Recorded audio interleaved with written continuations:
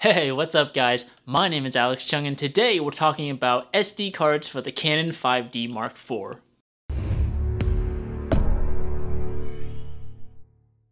Now, everyone knows that the Mark IV eats up storage when you're shooting video. In 4K recording, you're getting bit rates of up to 500 megabits per second, which are absolutely massive. So today I'm giving you the best SD card option when you're shooting 4K video. I'm to skip over CF cards because they're really expensive and they're quickly getting outdated and you can get the same amount of storage on an SD card for much cheaper. Now for the storage size of the SD card, I personally recommend you getting a single 256 gigabyte memory card that'll give you about an hour of 4K filming.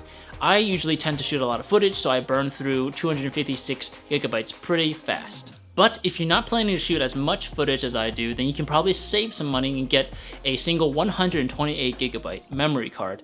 I've got some links down below for you to compare the two storage sizes and compare their prices. The SD card that I'm using right now is SanDisk's Extreme Pro 256 gigabyte card. I've got the link in the description down below for you to check out the exact version that I'm using. If you simply just search it on Amazon, you're gonna get a whole bunch of similar looking SD cards from SanDisk that might not actually work for 4K recording on the 5D. This card has a write speed of 90 megabits per second, which is over the minimum requirements of 60 megabits per second for the 5D. I've had zero issues capturing 4K footage on these SanDisk cards. However, on slower cards, you get an error message that says you can't continue recording because the card is simply too slow to keep writing the information in there. If you get a 64 gigabyte card, you only get 15 minutes of 4K recording time, which for me isn't quite enough. However, if you don't plan on shooting a lot of 4K footage, then probably the 64 card would be good enough for you. I recommend getting at least two SD cards so that you can continue shooting on the second one as you're transferring footage from the first card.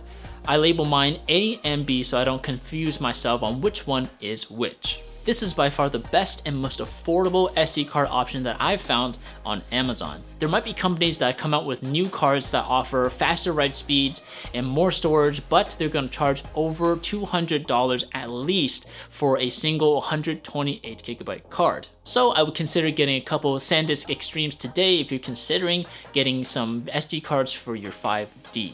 Again, go to the link down below for the exact SD card that I'm using because SanDisk has a couple of very similar looking ones that are different for 4K recording than mine. I hope this video helps you guys and if you liked it, please give it a thumbs up and be sure to subscribe to my channel and turn on the bell notification for future content. My name is Alex Cheung and I'll see you later.